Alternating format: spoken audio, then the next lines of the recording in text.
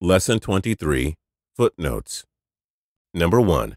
For more on Mercury, see Note 28. Number 2. In the Hebrew Bible, Samson, meaning man of the sun, is granted supernatural strength by God in order to combat his enemies and perform heroic feats.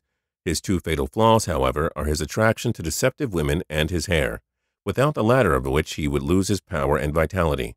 In these verses, Delilah is trying to discover what gives Samson his great strength so that she may find a way to subdue him.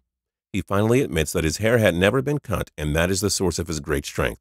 Verses 13 through 20 are included to provide greater context. Judges 16, section 13 through 20, New American Bible. So Delilah took new ropes and bound him with them, and said to him, The Philistines are upon you, Samson. For the men were lying in wait in the inner room. But he snapped the ropes from his arms like a thread. Then Delilah said to Samson, Up to now you have deceived me and told me lies. Tell me how you may be bound. And he said to her, If you weave the seven locks of my hair with the web, and fasten it with a pin, then I will become weak and be like any other man. So while he slept, Delilah took the seven locks of his hair and wove them into a web. And she fastened it with the pin and said to him, The Philistines are upon you, Samson. But he awoke from his sleep and pulled out the pin of the loom and the web. Then she said to him, How can you say that you love me when you do not confide in me?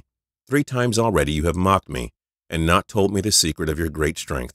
She importuned him continually and vexed him with her complaints, till he was deathly weary of them. So he took her completely into his confidence and told her, No razor has touched my head, for I have been consecrated to God from my mother's womb. If I am shaven, my strength will leave me, and I shall be as weak as any other man. When Delilah saw that he had given her completely into his confidence, she summoned the lords of the Philistines, saying, Come up this time, for he has opened his heart to me. So the lords of the Philistines came and brought up the money with them.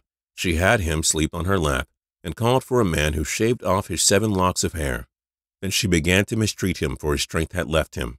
When she said, The Philistines are upon you, Samson, and he awoke from his sleep, he thought he could make good his escape as he had done time and again, for he did not realize that the Lord had left him. Ehret points our attention to these Bible verses, for they show how the power and vitality of a strong human was lost as soon as they shaved or cut their hair. For Ehret and many of his back-to-naturist peers, the shaving and cutting of one's hair is not only unnatural, but debilitating and unhealthy. From this perspective, the ability to grow one's hair is a sign of cleanliness and superior health. On this page in the book copy, you will see a sketch of Ehret taken after a 40-day fast that shows a great amount of facial and longer head hair.